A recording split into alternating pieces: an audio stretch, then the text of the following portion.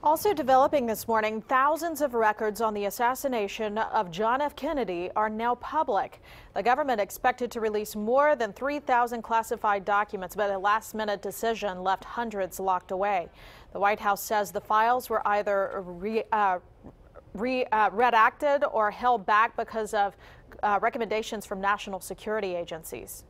What I think is you had a last minute appeal, probably from Mike Pompeo who, uh, because of the National Security Act, is responsible for the protections of sources and methods on the part of the executive branch.